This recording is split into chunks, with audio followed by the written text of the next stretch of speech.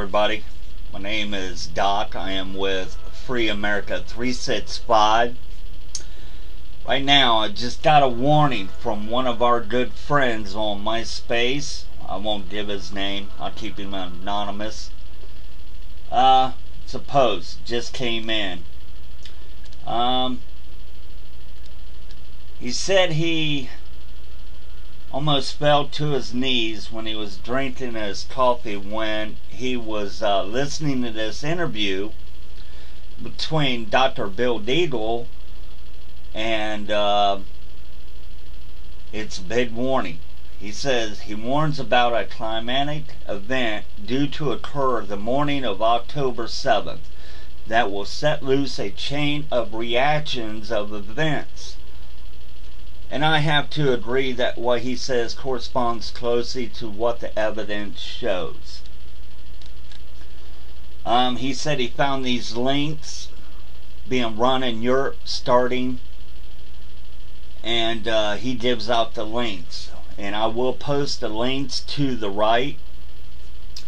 Um, and then he's quoting from another article about uh, World War III. Okay, Here's this post says fighter jets, infantry troops, destroyers, submarines will uh,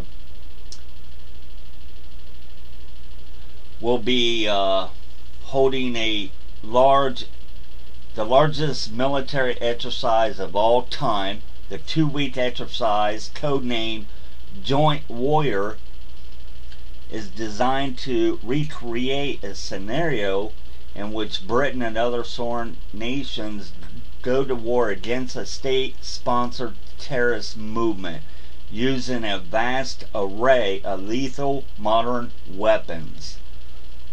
Taking place between October 6th and October 16th, it will provide coordinated training for all three UK armed services plus forces from eight allied nations six companies of infantry, 29 surface and four subsurface line units, and 60 aircraft flying at a rate about 80 to 100 seniorities a day will be involved in the exercise. And MOD spokesman said the two weeks will develop through a period of tension um, between war, uh, warfighting, and open hostilities.